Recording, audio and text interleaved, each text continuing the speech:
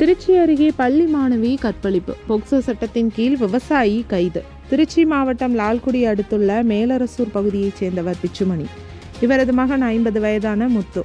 இப்பகுதியில் விவசாயம் செய்து வருகிறார். இவர் மீது பிளஸ் டூ பள்ளி மாணவியை கற்பழித்ததாக லால்குடி மகளிர் காவல் நிலையத்தில் மாணவியின் பெற்றோர் புகார் அளித்தனர். புகாரின் அடிப்படையில் மகளிர் காவல் நிலைய ஆய்வாளர் மாலதி விசாரணை மேற்கொண்டதில் அரசு பள்ளியில் பிளஸ் டூ படித்து வரும் பள்ளி மாணவி தன் வீட்டில் தனியாக இருந்தபொழுது மாணவியின் வாயை பொத்தி கற்பழித்ததாக விசாரணையில் தெரியவந்தது. அதனைத் தொடர்ந்து விவசாயி முத்துவை போக்சோ சட்டத்தின் கீழ் கைது செய்தனர்.